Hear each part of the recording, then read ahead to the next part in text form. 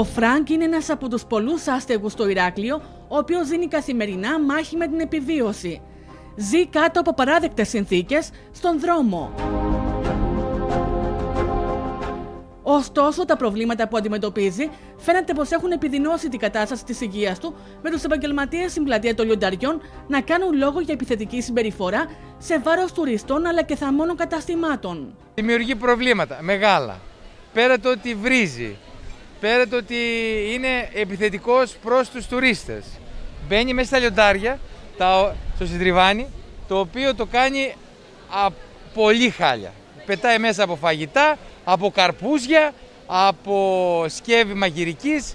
Τον τελευταίο χρόνο έχει εκτροχιαστεί, πετάει στο στριβάνι μέσα σκουπίδια, έχει φράξει στο στριβάνι, έχει χαλάσει το μηχάνημα στο στριβάνι, έχει χτυπήσει ανθρώπους, ε, βρίζει, κάνει τα πάντα, έχει μεγάλα θέματα και ψυχολογικά πιστεύω αλλά και παθολογικά. Στο πιο κεντρικό μέρος της Κρήτης και γίνεται αυτό το πράγμα είναι λίγο ξεφτύλα να το πω.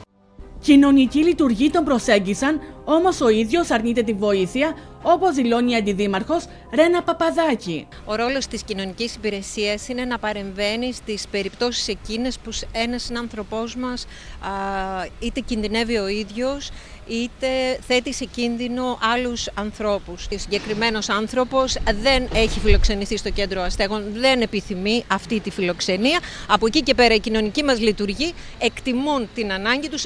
Η κοινωνική υπηρεσία δεν μπορεί να μετακινήσει έναν άνθρωπο χωρίς τη θέλησή του. Αυτό είναι δουλειά άλλων υπηρεσιών. Για την περίπτωση του Γερμανού άστεγου, οι κοινωνικοί λειτουργοί έχουν ενημερώσει τις αρμόδιες υπηρεσίες με την Αντιδήμαρχο να στέλνει τα δικά της μηνύματα.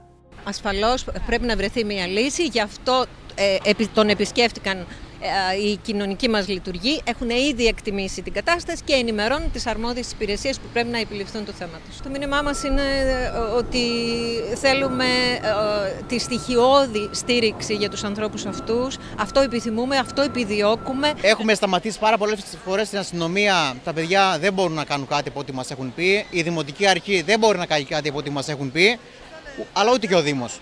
Κάτι πρέπει να γίνει, έτσι. Κάποια στιγμή έρχονται τα κουραζερόπλια και τυχαίνει να κάνει ο ξεναγός ξενάγηση και να επιτίθεται πάνω στο γκρουπ. Έχουμε διαμαρτυρηθεί όλοι οι κατασυματάρχε. Έχουμε καλέσει την αστυνομία πάρα πολλές φορές.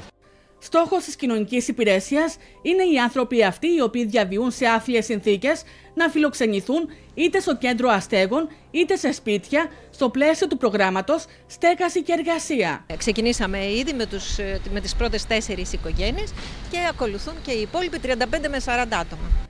Την ίδια ώρα, 18 άστεγοι εξακολουθούν να αρνούνται τη βοήθεια των ειδικών, γεγονός που προκαλεί ανησυχία καθώς κινδυνεύει η υγεία τους. Φυσικά υπάρχουν τέτοιες περιπτώσεις μέσα στην πόλη του Ηρακλείου. Κάνουμε τεράστιες προσπάθειες για να τους πείσουμε να δεχτούν βοήθεια.